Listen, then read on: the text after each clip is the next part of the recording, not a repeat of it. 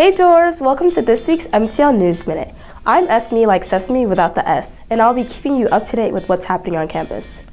Calling all bookworms, bond with your fellow writers and readers at the first social event for the semester for Vandy Writes. This Thursday, the 26th at 7.30 p.m. There will be book-based games and cold brew coffee. Everyone is welcome. Want to put your trivia knowledge to the test? Come join VenUe also this Thursday, the 26th, from 7 to 9 p.m. for an exciting night of trivia, food, and prizes. Join the ASL Club as they discuss the film Children of a Lesser God. They will have snacks and will also be teaching ASL. The meeting start time will be 7.30 p.m.